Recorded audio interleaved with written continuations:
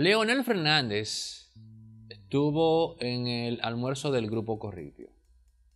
Y lo más significativo y el hecho a partir del cual tenemos que hacer la reflexión que amerita este comentario es que don Pepín Corripio, el patriarca, hizo acto de presencia. Amén de que en los últimos meses o años, a raíz del cierre sanitario, don Pepín había evitado los contactos con el público por un tema de salud, aunque sé que fue algo como que se lo impusieron, que la familia le impidió salir. La tesitura de él era continuar con su vida social, la que llevaba, pero sus hijos le pidieron que se resguardara y tuvieron que ponerse fuerte con eso. Y había hecho muy, pero muy, pero muy pocas salidas públicas después del cierre sanitario. Y se habían dado en efecto varios almuerzos del grupo Corripio y don Pepín no hacía acto de presencia. Sin embargo, ante la comparecencia de Leonel Fernández, sí fue.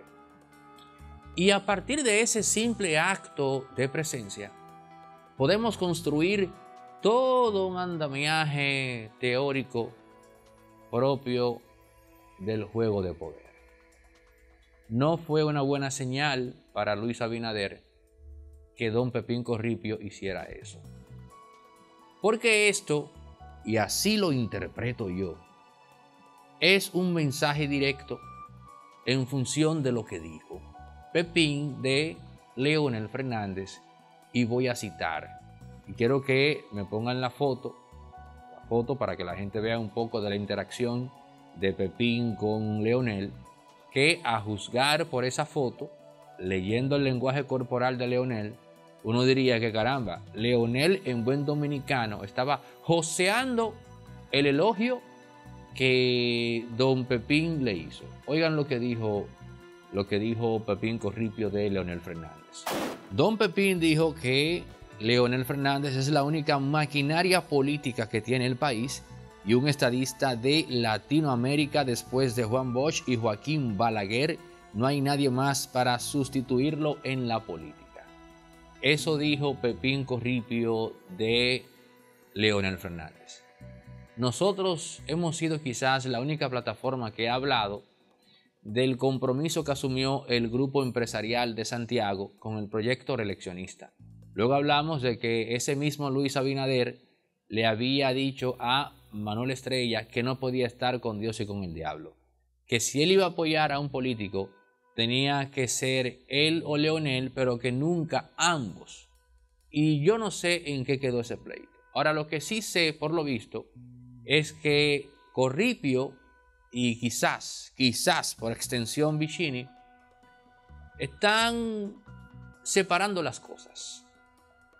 Separándola no hay malos términos porque ellos no van a pelear con el grupo de Santiago, harán negocios también, pero no es lo mismo usted hacer negocios estando en la periferia que hacer negocios estando directamente conectados con el Estado. Pero aquí hay algo súper interesante que yo no sé si Leonel Fernández lo ha auscultado, si lo ha pensado el mismo Manuel Pepín Corripio e incluso Manuel Estrella. En el año 2009 se dio un enfrentamiento serio entre Pepín y Leonel Fernández, del cual parece ser que se recuperó la relación del todo, porque Don Pepín hizo una inversión millonaria en materiales de construcción de cara a las obras que le quedaban por ejecutar en los últimos tres años de gobierno a Leonel Fernández. Sin embargo, a mente que Leonel ya sabía de la gran inversión que había hecho el grupo Corripio, Pepín y Don Manuel, a pesar de eso, esas obras terminaron todas en manos de Manuel Estrella. Eso no le gustó para nada a don Pepín. E independientemente de lo cierta o no que fueran las acusaciones a Leonel después de, pero el ataque que vino a Leonel Fernández tuvo como epicentro esa decisión. Don Pepín nunca le creyó a Leonel el cuento o la excusa de que Manuel Estrella había garantizado un precio más barato con una varilla, un segmento, un material de metal ahí que tenía las especificaciones que exigían los bancos que hacían los préstamos y además que el precio de Manuel Estrella estaba en el rango de lo que se estipulaba como parte de las condiciones para ceder esos préstamos. Don Pepín atacó. Ese ataque, junto al que le hizo Danilo Medina a Leonel inmediatamente después de salir del poder, fueron los ataques más despiadados que Leonel recibió. Y usted se dirá, bueno, caramba, Leonel Fernández tiene que ser masoquista, que Amén después de eso invitó a la familia Corripio a cenar en Navidad o Nochebuena en el Palacio Nacional. Algo que recuerdo en su momento que criticó mucho José La Luz, que fue quizás el único comunicador que en aquel entonces habló del conflicto. Aunque en los círculos de poder se sabía plenamente lo que estaba pasando. En el 2009 yo era asesor de comunicación política. Estaba comenzando, por así decir, joven, de veintitantos años, en fin, estaba comenzando en eso. Y, recuerdo tener acceso a ese conflicto. Entonces, ¿qué es lo que no se está pensando aquí? Porque usted dirá que Leonel con eso debió tener suficiente para hacer cruz y raya con los corripios. No, se equivoca, es al revés. Ese es el tipo de situaciones que hacen que usted le tome más valor al otro. Cuando te atacan, cuando tú ves que el otro tiene la capacidad de doblegarte, de tirarte al suelo, inteligentemente lo que te queda por hacer es querer más a esa persona. Si tú eres estúpido, si eres imbécil, vas a permitir que el resentimiento entre en ti.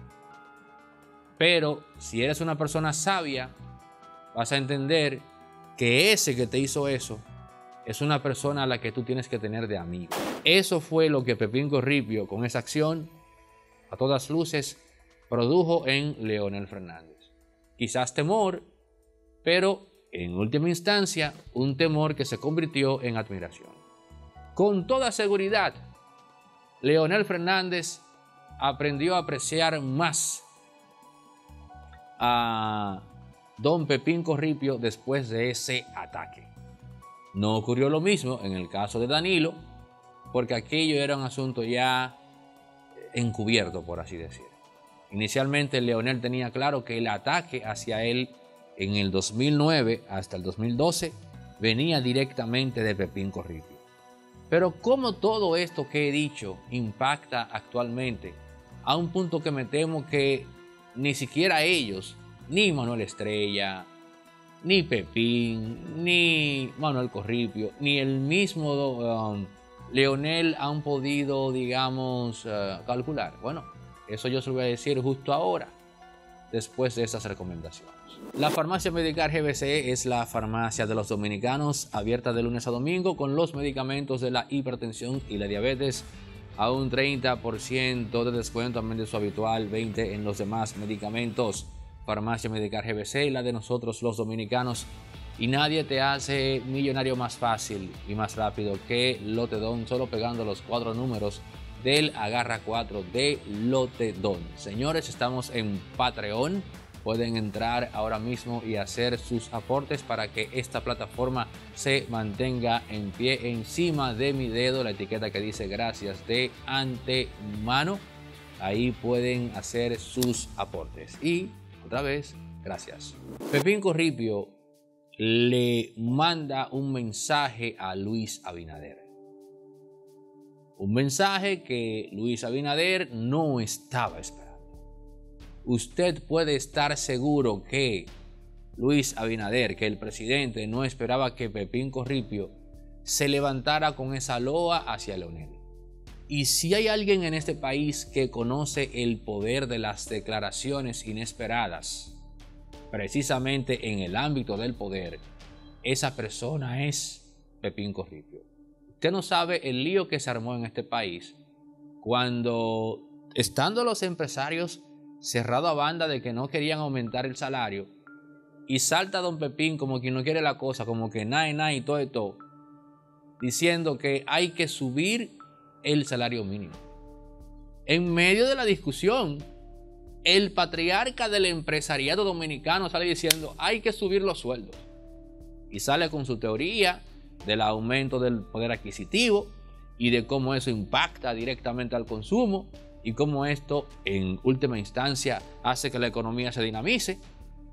Y ellos, los empresarios impotentes, sabiendo que no podían recriminar o reprochar a don Pepín. Creo que fue, no sé si fue César Mansar, Mansar que le dijo a don Pepín, ¿y cómo usted nos hace eso? ¿Cómo usted no hace eso? No le quedó más que decirle eso a Pero bueno, entonces, eso es lo primero. A mí lo que me, lo que me queda es que debido a que estamos en un escenario peculiar, en donde tras meterse directamente en la política, los empresarios están actuando guiados por el espíritu de un juego de suma cero, asumiendo que la plaza que tiene fulano le queda en primera instancia a él y quizás solamente a él, es esto lo que hace que Pepín diga, bueno, yo me voy con Leonel. Si si tú te vas con Manuel Estrella, si tú estás con Manuel y de repente yo no quiero ser el segundo en cualquier negocio que, tengas con este señor, no es que sean enemigos, esto, esto es negocio, nada personal, ¿eh? prefiero a ellos. Pues yo lo que voy a hacer es que voy a apoyar a Leonel. Pero lo interesante aquí es que Leonel Fernández también recibe el apoyo de Manuel Estrella. ¿Cómo puede Pepín Corripio garantizar para sí que apoyando a Leonel, él va a recibir un trato preferencial en cuanto a contrataciones con el Estado en un próximo o quizás dos gobiernos más de Leonel? Si ya en el pasado, y por eso traje la anécdota del 2009, Leonel Fernández le dio preferencia a Manuel Estrella. ¿Será acaso que el pleito aquel entre Luis y Manuel Estrella trajo como respuesta me quedo contigo y Pepín Corripio está aprovechando esto? No lo sé. Esto último lo estoy conjeturando totalmente. No lo sé. Ahora, Pepín Corripio ha salido con unas loas a Leonel Fernández que deja implícito que nadie mejor que él para ser el próximo presidente. Lo colocó en el mismo sitial de Bosch y de Joaquín Balaguer. Aunque Leonel carece, o al menos hasta ahora, y quizás ya nunca lo haga, Leonel nunca ha podido explicar un plan coherente de gobierno, me explico, una filosofía política a partir de la cual usted pueda deducir que es exactamente Leonel Fernández en el poder. Pero bueno, entonces esa declaración de Pepín Corripio, yo la veo en esa línea. Ahora, supongamos que me equivoqué. Supongamos que el tiro no va por ahí. De lo que usted puede estar seguro es de que hay una intención política detrás. Y desde luego, no va en favor de los intereses de la reelección de Luis Abinader. Apartamento en los altos de Alameda. Miren las fotos en sus pantallas ahora mismo y escuchen todo lo que tiene este apartamento amueblado. Alquiler en tan solo 40 mil pesos. Oigan esto. Tiene sala, comedor, cocina, dos habitaciones, dos baños, dos parqueos, sala de estar, calentador de agua, dos aires acondicionados, lavadora, secadora, inversor y tiene servicios incluidos de teléfono, internet, mantenimiento, gas, gimnasio, excepto la electricidad. Miren esas fotos y no solo el apartamento como tal, sino lo que se escogió para amueblarlo, simplemente muy bello. Nos pueden escribir al 829-741-361, repito, 829-741-361 y les ponemos en contacto con Charina Hernández, nuestra representante de bienes raíces.